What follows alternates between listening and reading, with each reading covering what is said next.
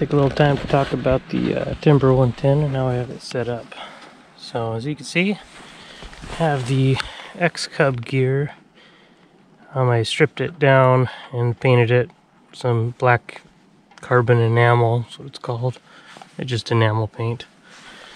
And here, we got the 8.75 inch PR bush wheels. Um, they're currently out of production, but uh, think they're looking at starting it up again.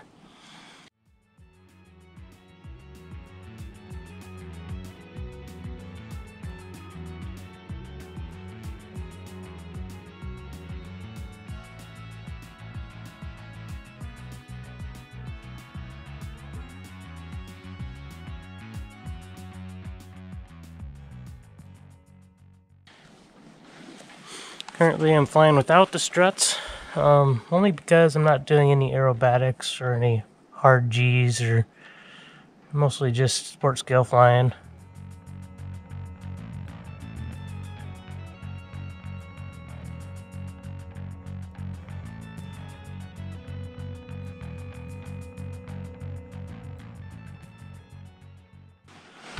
As you can see under the wing, I got two inch arms from Northwest RC. I'm using the 1.75 inch hole on there.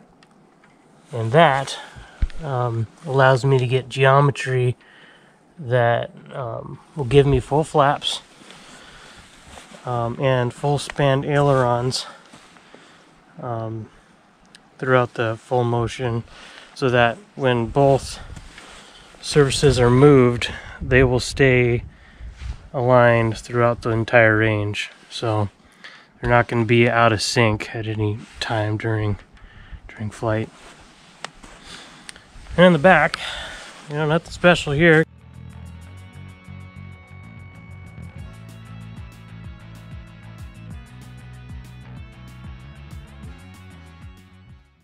Except for my tail wheel. Um, everything's the same as you would see stock. Once again, the 1.75 inch hole and the 2 inch arm to give me some kind of uh, geometry that I like. Uh, I have 6 ounces of uh, sticky weights in the tail. As you can see, they're all over the place. Oh yeah, lots of weight. And then my 3D printed tail wheel that I designed uh, specifically for this airplane so it fits inside the stock leaf spring that I painted black. Holds a uh, three and a quarter inch Dubro tail wheel, or sorry, not even a tail wheel. It's a um, just a soft rubber tire, and uh, as you can tell, it works pretty good. I like it. That's all I got for there. As far as the CG goes on this guy, I've found that the five inch five inches back from the leading edge is about this part right here on the window. So when it's ready to fly, it'll be right about there, right in the back side of that post. And that's about five inches. You can go back five and an eighth. That flies pretty good. Five and a quarter. Um, it starts to act a little funny post stall have the DLE 55 RA, but it pulls it around pretty good. I like how it starts.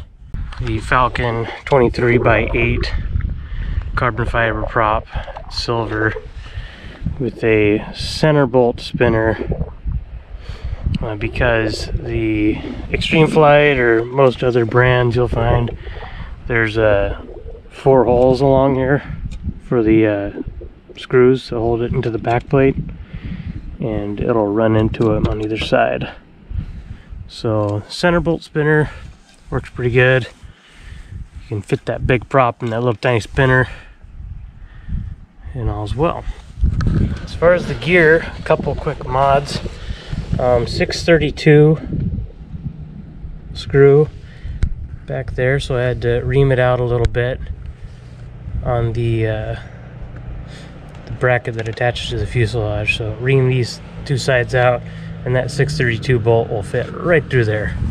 No problem. I'm sure you could use M4 as well, but that's just what I had. And then the strut, I ended up shortening about five to seven millimeters. It's pretty much about what you can do there. And the reason being is the gear. So as you can see right now, that gear is actually, looks pretty up and down from this point, but they're actually cambered inward, like positive camber. Uh, so it looks a little bit more scale and it's actually quite more functional. It gives you a little bit more prop clearance, which I like. We're on a slope right now, so it's hard to see, but um, in flight, you'll figure the tail's up and flying. And right now, I probably have an extra half an inch of clearance because I shortened those arms a little bit. It wasn't my idea, but uh, it's a good one, and it works really well. As far as under the hood, I'm actually not using the bolts to, to hold down the canopy.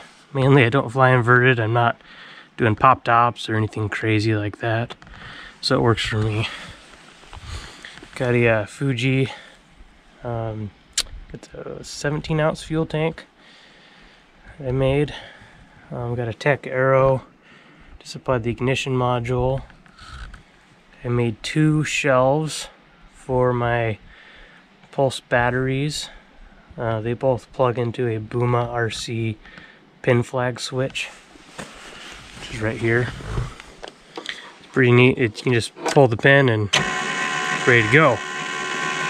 Push it in, it's done. So that's a fuel dot from Northwest RC, also known as a Kuza fuel dot. It's magnetic, works pretty good. I like the Tygon on there. It's cheap, it fits it pretty well. Decided to put my throttle servo right there.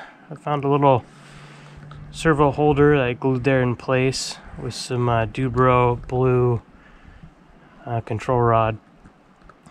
Goes all the way to the throttle.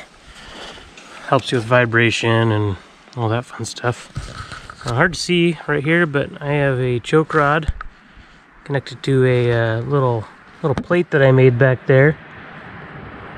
So I can just pull that arm to choke it and then push it in when when it after it popped keep going um, okay back in here Got Futaba 7014 SB receiver using most of the ports it's kind of nice to have that big receiver back there uh, I started using these uh, like all-in-one MPX connectors um, they were connected to the frame, but they actually popped out a few times.